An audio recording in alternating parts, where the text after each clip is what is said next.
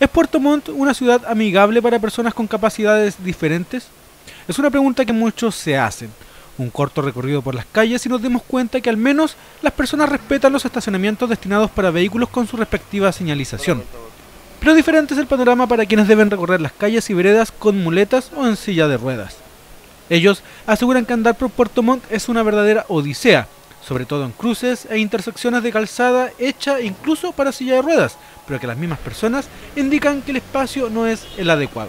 Las veredas malas, las veredas malas, los cruces, las subidas a la vereda, que no sé por qué le hicieron ese espacio ahí tan pequeño.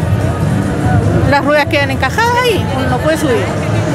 Tiene que ser derecho de la calle hacia arriba nomás, no tiene que por ejemplo, a mí eso me, dificulta mucho andar sola en la calle.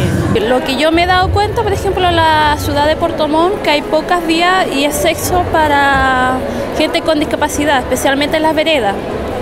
En las veredas a veces hay problemas, porque uno le incomoda para subir en los edificios, hay algunos que no hay ascensor y eso complica.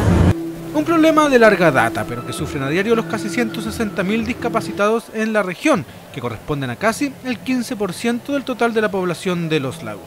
Para el director regional del Servicio Nacional de la Discapacidad, Marcelo Campos, efectivamente hay barreras que impiden el normal desplazamiento de estas personas, pero la solución, según él, pasa por un mayor compromiso de inclusión de la ciudadanía, que hasta ahora ve de manera lejana lo que sucede con situaciones de discapacidad. Hoy día cuando hablamos de accesibilidad también deberíamos hablar de accesibilidad universal, para todos. Cuando tú pavimentas una calle y la dejas buena, sirve para todos. ¿sí? No creemos en mundos paralelos. ¿sí? No es necesario construir una vereda para personas en situación de discapacidad y una vereda para quienes no tienen discapacidad. Falta harto. De que se cumpla. Sí, falta harto. por ejemplo. Estamos trabajando en eso, estamos trabajando hoy día con el municipio, por ejemplo, hoy día la Municipalidad de Puerto Montt hace muy poco pintó los estacionamientos reservados para personas en situación de discapacidad de color azul como indica la ley. Esas son acciones concretas. ¿sí? Hoy día ya el municipio tiene una mirada que cada vez que va a construir una obra debiera haber un enfoque en materia de discapacidad.